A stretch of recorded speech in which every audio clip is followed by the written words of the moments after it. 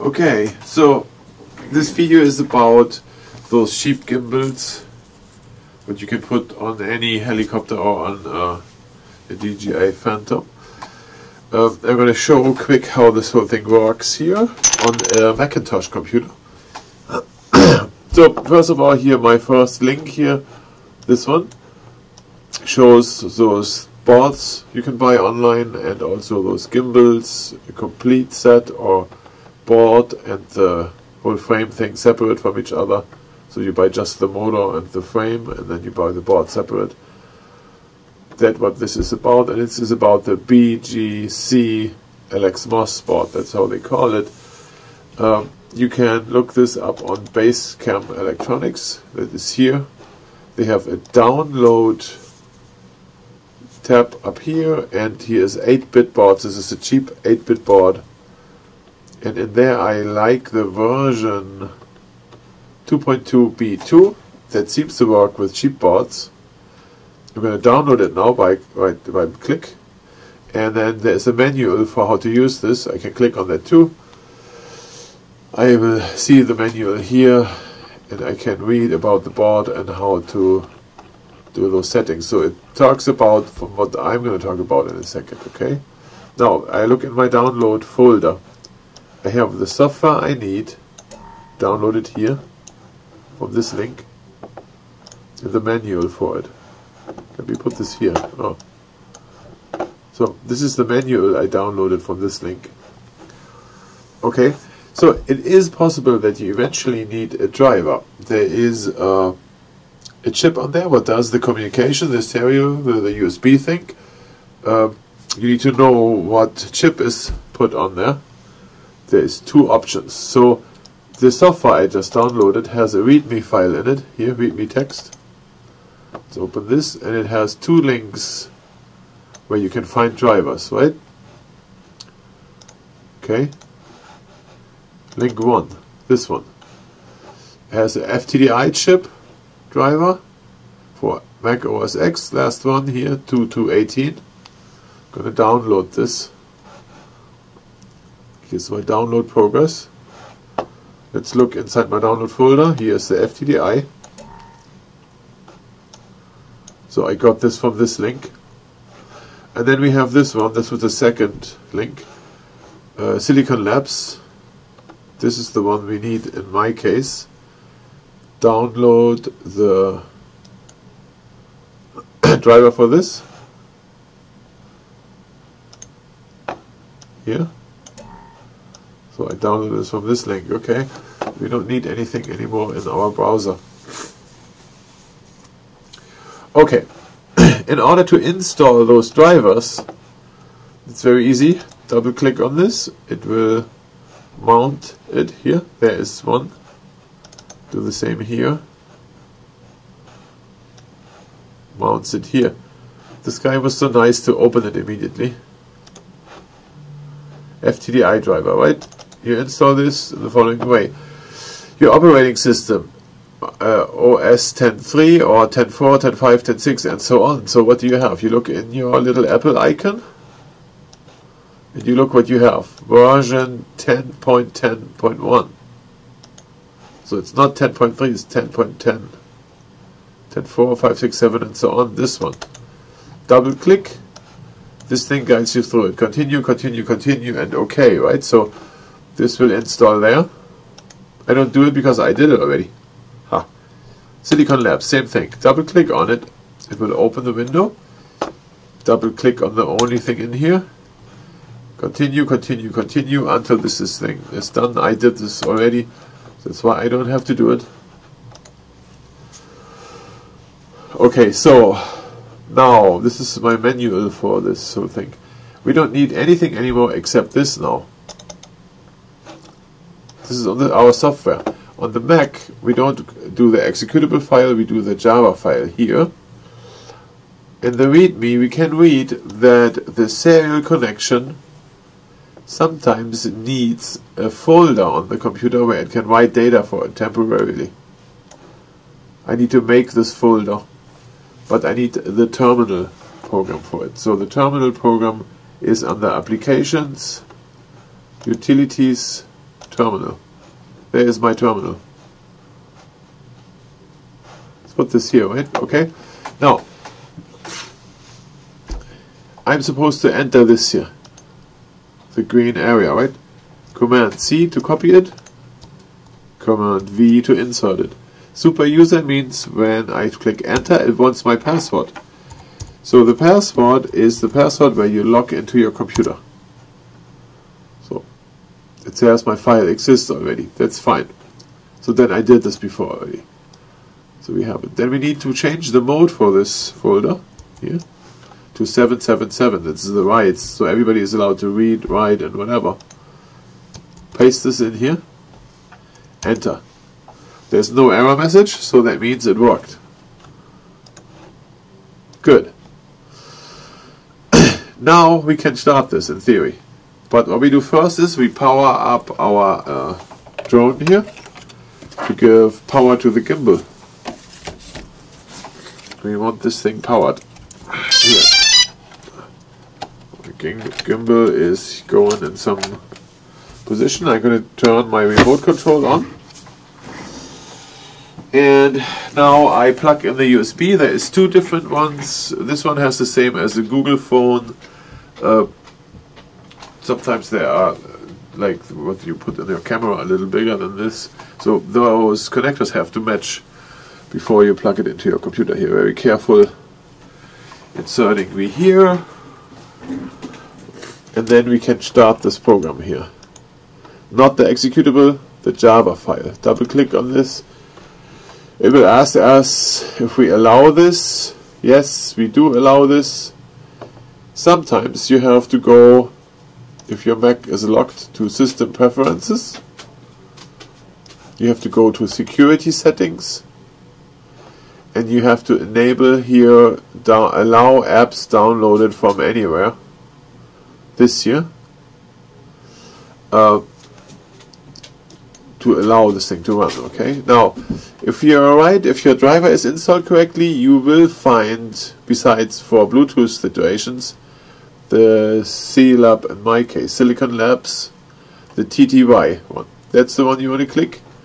And then when you press connect, takes a second and you would connect. If you go on the real-time data tab, you will see there's data coming from the board. And you can see the gyro move and everything. If I touch here and move, then you see what happens. Okay, all hell breaks loose. Okay, now, in my case it runs pretty well already. On my remote, I can move left and right, this lever. Put this here. You see this here? You see my camera in the background moving?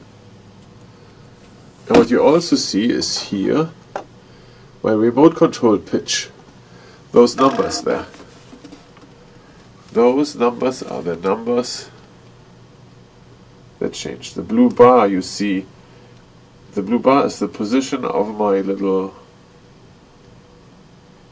lever. Isn't that fantastic? Okay, we go to the basics tab. We look at the number of poles. This has to match your motor. Here's a little video. So, the gimbal motor has those coils in there I think we can see this here clearly. There are those little copper coils. There's a bunch of them in there. So for the settings you have to count them. How many are there all the way around? In my case it is 12. Okay, so we found out I have 12. No, I don't need my video anymore. It means the poles here I have to change to 12. 12? And then I write this to the gyro. Okay, to the board, I mean, I'm sorry, not to the gyro. Uh, sensor calibration. So there is a sensor underneath here. I do not use the original setup. The original setup, this motor would be on the right side. I have it on the left because I want to be able to access the USB port while it's mounted on here. So I have my board underneath the board orientation, I, I enter here, minus Z and X. If you read the user manual, this one here, the BGC manual, you can read about it, about this orientation on this little board. It has markings and there is letters on there. So that's how you set this. So in your case, if the motor is on the right, you probably have plus Z and X. Skip gyro, gyro calibration at startup means that it doesn't calibrate again every time you power it up. If you want to calibrate, you would have to click the button and then hold it super still. Okay, that was the calibration. Calibrate the gyro, same thing. You click on it, then you hold super still for a few seconds. Do not move at all. And there we go. So that's calibrated. Don't play with those numbers. We hope that ever whoever owned this before did the settings right for you. Don't play too much with it. The power is how hard this thing will hold this thing in place when you push on it. I do 70% power. The more power you have here, the more power your gimbal will need. The less you have, the more easier it is to get out of whack. So I, in my case, use 75%. Good. Next time, next thing, RC settings, remote control settings. So when I move here my lever, Uh, the pitch is the most important. Remote control pitch, that's the function for the pitch. It's the input. What's coming from the DJI going to this board, telling it at what position it has to be. Here you give the maximum angle. You can use minus and uh, negative and positive values here. Uh, if I, the minimum angle, set this to minus 40 for example, and right, then you see that the camera turns down already. So 40 in my case is not correct. I have to do minus 10 in my case. Minus 10 and right. So then it goes in a certain position there, right? Move here back and forth. That's my down position. My down position is minus 75. I can change that to whatever.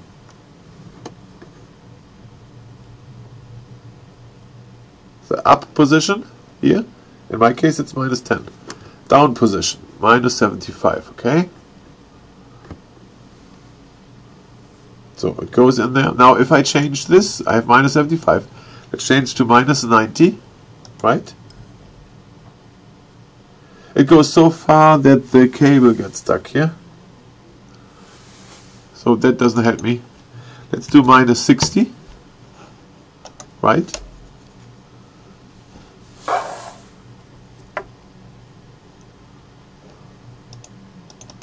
Minus 75. Right? Oh, it's completely out of whack now. So read to see what I have. I go back to basics, calibrate.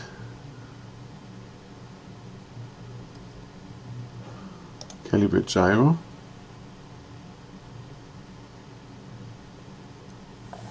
Uh, let's see here. There's one.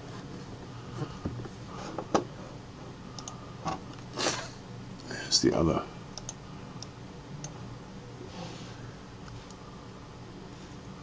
Minus 55. So, Okay, so I have here the minus 10 and here the minus 55 and you see it doesn't turn enough so in my case minus 75 would be the right value and it needs a minute to go to the spot so you have to have patience a battery cycle probably and then we go good Okay.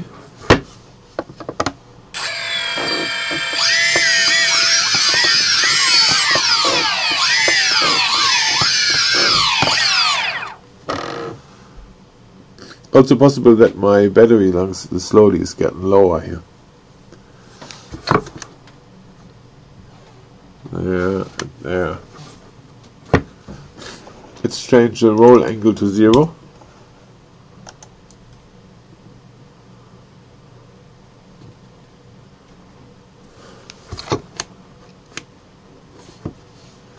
you can see how it is moving around because the roll angle we do not enter through the RC control.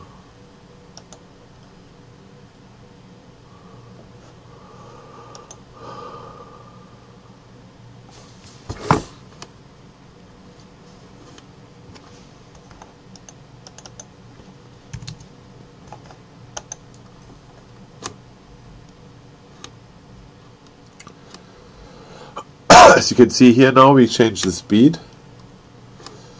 fast we switch between those two if I do 5 only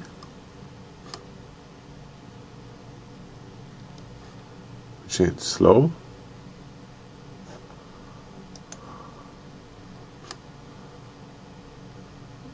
and here is the speed controlled by the remote control Yep. So that looks pretty good. If we are done with everything, we just disconnect and the system will memorize all our settings. So now we are not connected. Now we can disconnect the board and unplug the power.